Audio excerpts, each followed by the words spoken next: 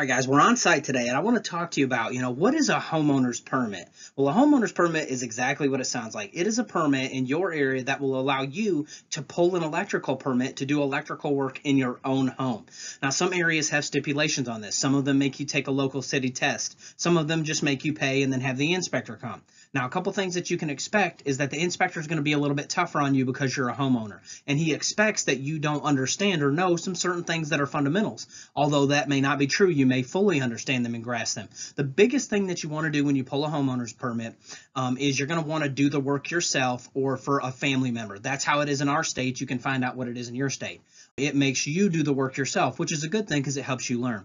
Never be scared of pulling your own permit. It's actually the cheapest insurance that you can do. For one, you have a professional putting a set of eyes on it and blessing it and make sure it's you know, making sure that, that it's quality work and also that you've done it correctly. You don't want to go to bed wondering if it's safe, wondering if you've done it right. You can buy a homeowner's permit for, you know, very little depending, you know, comparatively for what it could cost you. It's very little, in between 25 and $100 or whatever it is in your area.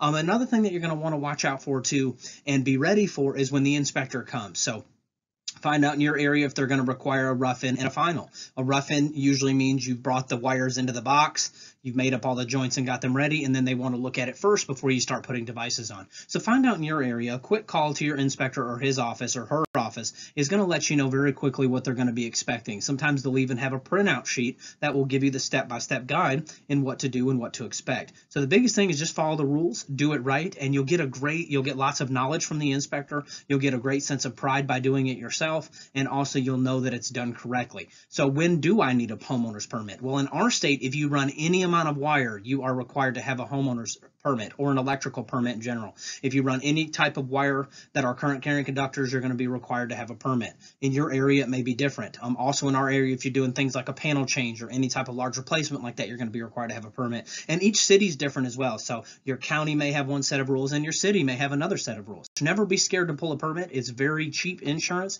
I hope that you guys have a great day. If you have any questions, just leave them down in the comments below. And I don't want you guys to be average DIYers. I want you to be pro DIYers or pro electricians. Let's go ahead and get to it.